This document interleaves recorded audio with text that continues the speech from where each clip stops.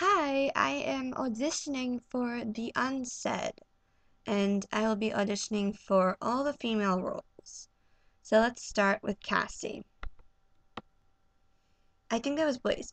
We're gonna go hang out at the park with, uh, Kyle? Kay? Why not? Just because you don't like him doesn't mean I should stop seeing him. We've been waiting for you. I was just starting to think I defended you against my mom for nothing. okay, Blaze.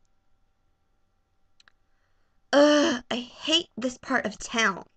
It's too goody two shoes for me. you should have done what I did years ago. Ditch your mom, Cassie. Yeah, I like texted him four times. He should be here any second now. Okay, Sophie. What the hell are you doing here? This isn't a strip club. No sluts allowed.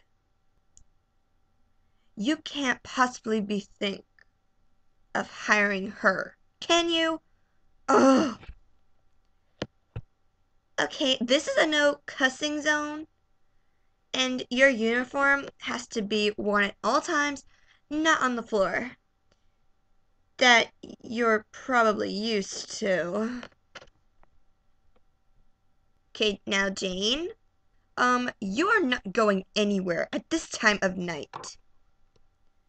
Listen, you know how I feel about both Kyle and Blaze and I don't want you anywhere near them. Because I said so. Cassie, get in your room right now. I don't expect to see you for the rest of the night. Kaylee? But I don't want to go home. I want to stay here with all my friends, and the guys love me. Put me down, Kyle. I am your mother, and I said put me down this instant.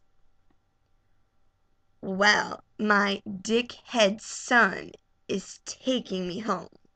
See you later, boys. And that's my audition. Hope I did really well. I think I did, to be honest. Okay, well, I really hope I get a part. Bye!